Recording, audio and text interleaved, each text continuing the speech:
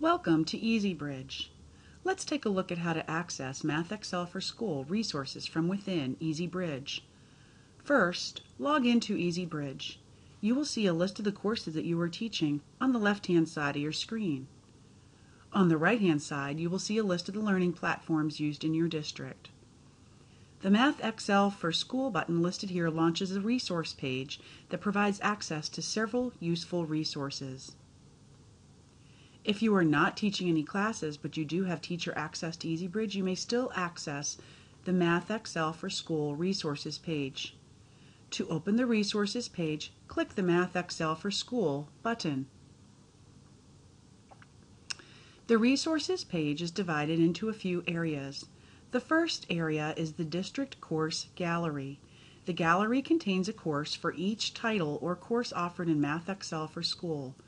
You can open the drop-down menu to see a list of all courses offered in MathXL for School.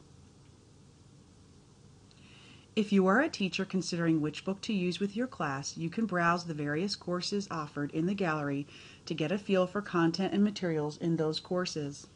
If you are a resource teacher, you may be working with a student who uses MathXL for School in his or her course. In this case, you may want to enter the equivalent gallery course to view the course material being used in that class or to create assignments for that student.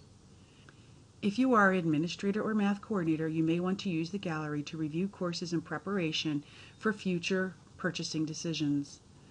Let's choose a title and launch the gallery course. It is important to note that all teachers and administrators in your district have access to these shared gallery courses, but students are never enrolled in gallery courses.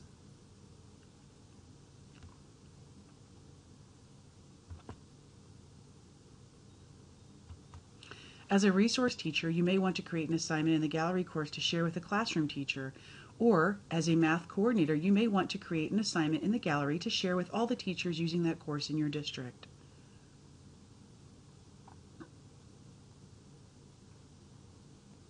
When you are finished, you can close the gallery course and look at the rest of the resources page.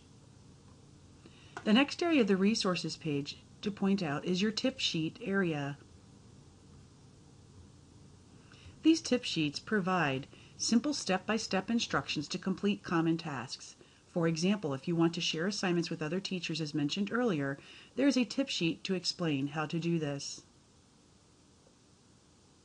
The other links on this page offer information about system requirements, product news, implementation ideas, training opportunities, and how to access help for using the product.